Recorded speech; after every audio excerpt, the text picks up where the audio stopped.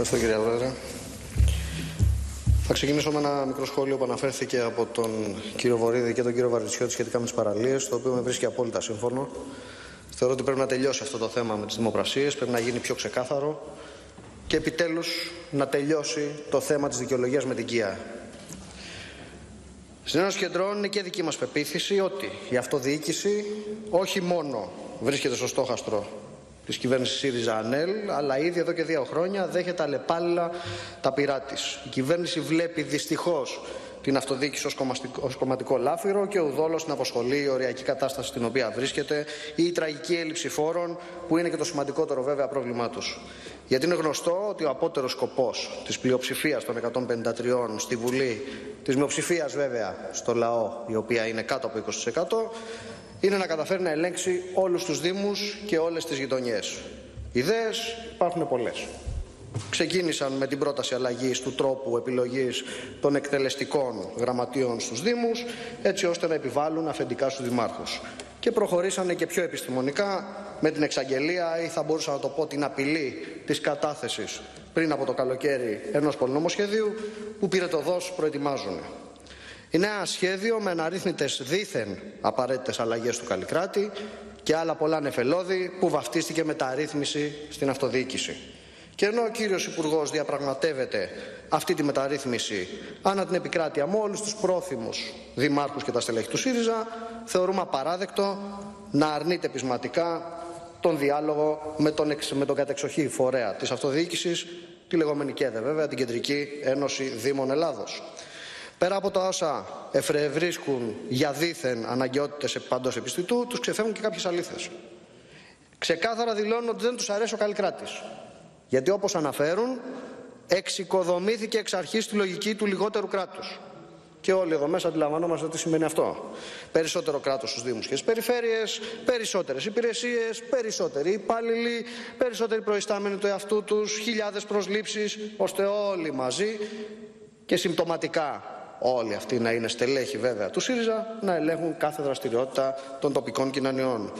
Και όντως είναι εύλογο το ερώτημα πώς θα χρηματοδοτηθούν όλα τα παραπάνω, τα οποία οι ίδιοι εσείς έχετε κοστολογήσει το 2015 περί τα τρία δις και αυτή τη στιγμή πιθανότατα να έχει διπλασιαστεί, διότι οι απαντήσεις περί συμμετοχικού προϋπολογισμού είναι το μόνο που βλέπουμε μέχρι στιγμής και χρήζει πολλών διευκρινήσεων για ουσιαστική αναβάθμιση του ρόλου της αυτοδιοίκησης α και β βαθμό, για το ενδεχόμενο μητροπολιτικής εξέλιξης των μεγάλων δήμων, όπως παράδειγμα η Α, η Αθήνα και η Θεσσαλονίκη, για ουσιαστική ενίσχυση των κεντρικών αυτοτελών πόρων, μόνο σοβαρή κουβέντα δεν γίνεται. Στην πράξη, ακόμα και οι θεσμοθετημένοι πόροι υπέρ των Δήμων παρακρατούνται επίτηδες για μήνες ή για χρόνια, εκτείνοντας την ασφυξία. Υπενθυμίζω ότι οι πιστώσεις για τις περιφερειακές υπηρεσίες τις προνομαρχίες δηλαδή, από 96 εκατομμύρια το 2016, αυτή τη στιγμή συρρυκνώθηκαν σε μόλις 32 εκατομμύρια για το 2017, σημειώνοντας μείωση 65% περίπου. Επιπρόσθετα είναι γνωστό ότι η αυτοδιοίκηση βαθμού έχει αποκλειστεί τελείως από το ΕΣΠΑ, ακόμα και για τη λειτουργία των κοινωνικών δομών φτώχειας. Γιατί με αποκλειστική ευθύνη της κυβέρνησης ΣΥΡΙΖΑ ΑΝΕΛ καθυστέρησαν διαδικασίες έναρξης των προγραμμάτων του νέου ΕΣΠΑ 2014-2020 που θα χρηματοδοτήσουν τη λειτουργία αυτών των δομών.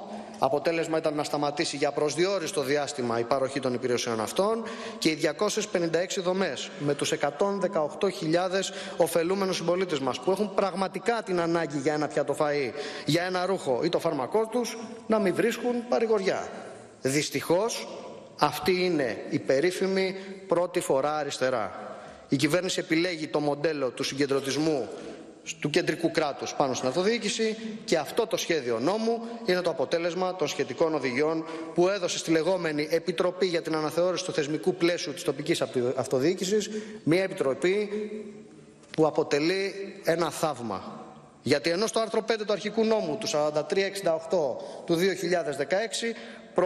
προβλεπόταν ότι θα αποτελείται από 27 άτομα, εκμεταλλευόμενη βέβαια η κυβέρνηση της διατάξης για σχηματισμό και κάποιων ομάδων εργασίας, κατάφερε να χωρέσει συνολικά 134 άτομα μαζί με τη γραμματιακή υποστήριξη, δηλαδή πέντε φορές περισσότεροι παραπάνω από την αρχική πρόβλεψη και όλα αυτά βέβαια τα άτομα δικαιούνται αμοιβής. Και για να μην αδικήσουμε και κανέναν, αναζητήσαμε μήπως υπάρχει κάποια επιστολή, κάποια ανακοίνωση από την οποία θα απαλλάσσονται ή θα παραιτηθούν αυτής της αμοιβή τα εν λόγω μέλη. Αλλά δεν τα βλέπουμε και εφόσον δεν τα είδαμε, θα παρακαλούσαμε τον κύριο Υπουργό να μας καταθέσει σήμερα τα αναλυτικά στοιχεία, ώστε να μάθει και ο ελληνικός λαός πού ξοδεύονται τα όσα κουρεύει η κυβέρνηση ΣΥΡΙΖΑ ΑΝΕΛ από τη συντάξη των ηλικιωμένων και τα επιδόματα αναπηρίας και ανεργίας. Αν εξαιρέσουμε περίπου 15 άτομα που συμμετείχαν μέλη εξοφίτσιο, τους οποίους, από ό,τι καταλάβαμε, δεν τους ήθελε και η ίδια η κυβέρνηση πάρα πολύ στα πόδια της, δεν υπάρχει κανένα στέλεχος που πάει χαμένο για την κυβέρνηση και τελικά το μόνο που περιμένουμε να ακούσουμε είναι λεφτά υπάρχουν και από εσάς. Έχουμε βέβαια, έχουμε βέβαια ακούσει για τριμελή Κύριε Υπουργέ, θα μιλήσετε Υπουργέ, την καταθέστε ώρα. τα. Δεν το ξέρετε. Κύριε Υπουργέ, σας μιλήσετε καλούμε μετά. να τα καταθέσετε. Κυρία να λέμε ανακρίβειες.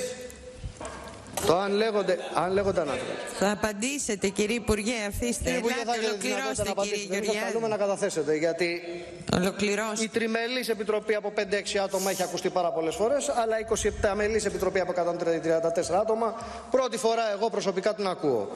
Εν πάση περιπτώσει, δεν αμφισβητούμε ότι επί 7 μήνες όλοι εν λόγω, όλα τα εν λόγω στελέχη δουλεύανε περί πυρετοδός για τις 445 σελίδες που καταθέσανε και διότι πραγματικά όλα αυτά που αναγράφονται περιλαμβάνουν και ενδιαφέροντα στοιχεία και όλοι μας θα πρέπει να τα μελετήσουμε και να τα διαβάσουμε προσεκτικά διότι ο εν λόγω Μπαξές έχει πάρα πολλά καλούδια.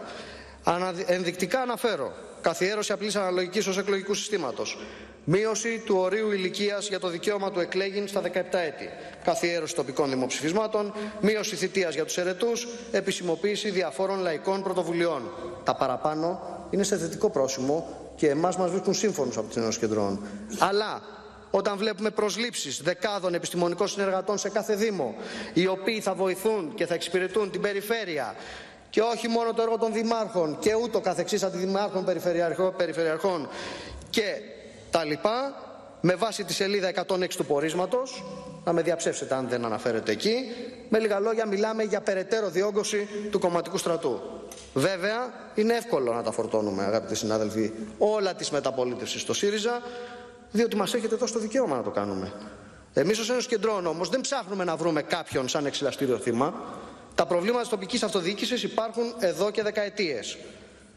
Τώρα εσείς κύριοι της Νέας Δημοκρατίας και σωστά κάνετε και διαμαρτύρεστε για το μαρτυρή χέρι της, ε, του ΣΥΡΙΖΑ στα αυτοδιοικητικά, αλλά θέλουμε να μας πείτε τι έχετε κάνει όλα αυτά τα χρόνια για να καθαρίσετε όλο αυτό το τοπίο της αυτοδιοίκησης που το θεωρείτε βρώμικο. Ακόμη και σήμερα είσαστε εναντίον της απομάκρυσης των παθογενειών, των αργομιστιών και γενικότερα της διασπάθησης του κρατικού Κύριε χρήματος. Γεωργιάδη, ολοκληρώστε. Ολοκληρώνω. Ένα λεπτάκι κυρία Πρόεδρε και ολοκληρώνω. Ε, Ένα βάπτουμε στα 9 έτσι. Ε, βλέπετε υπήρχαν και διακοπές. λοιπόν, και Παιχνίδι. αυτό γιατί, διότι πολύ απλά το πελατειακό κράτος δεν έχει χρώμα κόκκινο, ροζ ή μόνο πράσινο, έχει και μπλε και αν το φίξουμε θα θυχτείτε κι εσείς. Συμπερασματικά εμείς δεν δρούμε μηδενιστικά και αναγνωρίζουμε και τα σφάλματα και τα θετικά των επεμβάσεων και εν προκειμένου αυτό που θέλουμε είναι διαφάνεια και κοινωνική λογοδοσία. Χωρίς την κάθαρση στην τοπική αυτοδιοίκηση δεν θα καθαρίσει ο τόπος και δεν θα το καθαρίσει από καμία κυβέρνηση. Και κλείνω με ένα σχόλιο ε, που ανέφερε η κυρία Σιμακοπούλου διότι έτυχε να είμαι παρόν στο χθεσινό πάνελ. Είναι απαράδεκτο να ακούμε από στέλεος της κυβερνήσεως προσωμείωση αυτή τη στιγμή ένας ίσως το σημαντικότερο νομοσχέδιο που φέρετε και τα μέτρα για να πνίξετε περαιτέρω τους μισθούς και τις συντάξεις των Ελλήνων φορολογούμενων με το ότι θα μαλώσουμε ένα παιδάκι που δεν πήγε καλά σε εξετάσεις. Δηλαδή με λίγα λόγια παραδέχεστε ότι ο κύριος Τσακαλώτος είχε μια αποτυχημένη πολιτική. Να το ξέρουμε δηλαδή, παρασυ- προσωμιάζεται ότι η πολιτική και οι αποφάσεις της κυβέρνησης είναι σαν ένα μάθημα, σαν ένα τεστ που δεν έγραψε κάποιος καλά και έχει την ευκαιρία να το ξαναγράψει. Ειλικρινά θέλω να πιστέψω ότι ήταν ένα λεκτικό ατόπιμα, όπως όλα τα προηγούμενα που έχετε σαν κυβέρνηση, και να σας παρακαλέσω να σοβαρευτείτε, διαφορετικά να παραιτηθείτε. Διότι δεν λέω ότι είναι καλύτεροι οι επόμενοι που μπορεί να έρθουν, αλλά εσείς αποδεικνύεστε επικίνδυνοι. Σας ευχαριστώ πάρα πολύ.